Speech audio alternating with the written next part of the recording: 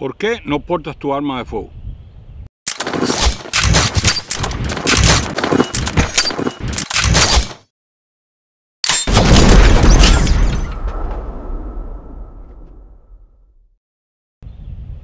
Hola amigos, bienvenidos a su canal Campo de Demolición, a la gran familia de Campo de Demolición. Y bueno, eh, como ven una vez más, trayéndoles consejos de salud, sí, pues en realidad lo son, así son, consejos de salud. Y hoy el tema a tratar es ese, ¿por qué no portar tu arma de fuego si eres un portador legal y tienes una licencia eh, para, para portar tu arma? ¿no? Ah, está de más que les diga que en campodemolición.com pueden encontrar estos pullovers. Puedes elegir tres, tres de ellos, seleccionas tres y solamente vas a pagar por dos porque uno es completamente gratis. Así que, como bien les decía, ¿a ¿por qué no portar tu arma de fuego?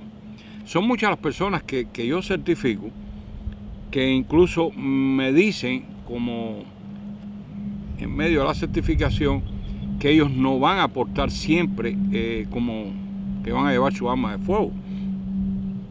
Y yo les pregunto por qué. Entonces me dicen que no, porque ellos van, van a ir a un área eh, o van a ir a un lugar que no es peligroso.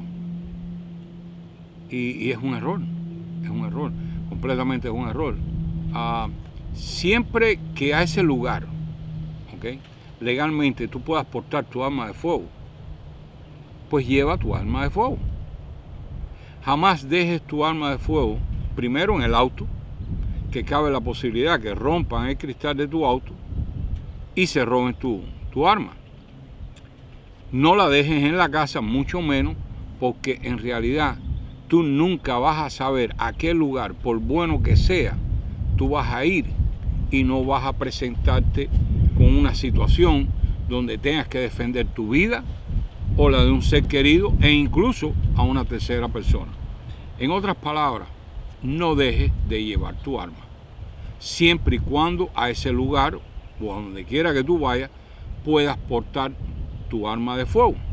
En otras palabras, chequeate las leyes de tu estado, incluso de tu país, cómo funcionan las leyes para que seas un portador 24/7 eh, de tu arma de fuego.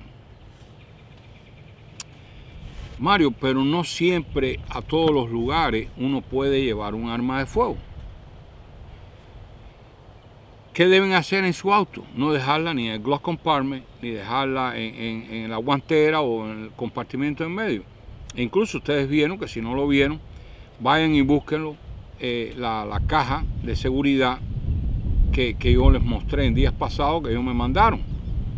Eh, y puedes instalar una de esas cajas en tu auto cosa que, yo tengo, eh, puedes instalarla en tu auto para que si no te tienes otra alternativa, no puedes ir a ese lugar, a un comercio, un negocio, pues entonces deja tu arma en un lugar seguro. Si tú a este, esta caja, eh, si es un auto, en el maletero, en un lugar seguro, que no esté muy visible tampoco, atornillada al chasis del auto, cosa para dificultarle al delincuente de que se lleve tu arma de fuego. Ya incluso en el maletero le va a costar trabajo localizarla y para cómo, cuando vea que hay una caja ahí, pues no va a poder llevarse la caja si está correctamente eh, atornillada y, y asegurada en tu auto. Si es una camioneta o una troca, como solemos llamarle, pues de la misma manera asegura bien tu caja y déjala ahí. Ahora, de lo contrario, siempre porta tu arma de fuego. Porque basta con que tú no lleves tu arma de fuego, hoy en día como están las cosas, para que vayas a un lugar, se presente una amenaza, se presente una situación donde esté en peligro tu, vida, la de tu familia, de tus seres queridos o incluso, como bien les digo, una tercera persona que tienes el derecho a, poderlo defender. ¿okay? Eso es en este, en este estado. E incluso, como bien les digo, chequeate las leyes de cada estado, porque es muy importante que aparte de que seas un portador de armas, ah, estés al tanto de las leyes, de los cambios de las leyes en el lugar donde tú vives, sea en el estado que tú vivas o en el país que tú vivas. Siempre es bueno estar al tanto de cualquier cambio en las leyes, las legislaciones, eh, siempre es bueno estar chequeando eso. Ahora, problemas del idioma, que es lo que pasa aquí, que en muchas ocasiones a mí hay amigos que me dicen, bueno, eh, una de las razones que estoy haciéndolo contigo es por cuestión del idioma, porque eres uno de los pocos que aquí en, en, Naples, en la Florida, eh, lo hacen en español. Digo lo que, y entonces de ahí es donde empezamos a hablar de las leyes. Y yo, aunque no soy abogado, pero buscando las leyes e informándome como ustedes, pues por ahí le doy consejos que les pueden servir para la hora de portar su arma de una forma segura, de una forma responsable y eh, bajo, eh, bajo las leyes, ¿no? Eh, cuidando de, la, de no cometer ningún error bajo las leyes de la, de la Florida en este caso. Dejar de llevar tu arma es un gran error. Prever que, que no vas a tener una situación es un gran error. Es como que tú salgas a manejar, y ya lo he dicho en ocasiones, que no te pongas el cinto de seguridad porque tú tengas la visión o sepas cuándo y en qué momento tú vas a necesitar ese cinto de seguridad. Eso es un error. Tú desde que te montas y te sientas en tu auto, aparte de que puede ser penado por las autoridades, porque hay lugares eh, específicamente o estados donde es mandatorio, donde es obligado, donde tienes que ponerte el cinto de seguridad, que salva vida. Entonces, de la misma manera, si eres un portador legal en este país o en cualquier otro de llevar un arma de fuego, pues no pretendas que tú vas a saber a qué área tú vas a visitar, a qué lugar tú vas a visitar que pudiera ser de más riesgo o menos riesgo. Eso es un error. Porta tu arma todo el tiempo. Los siete días de la semana, las 24 horas, donde quiera que tú vayas, porta tu arma de fuego. Que Dios permita que nunca tengas que usarla.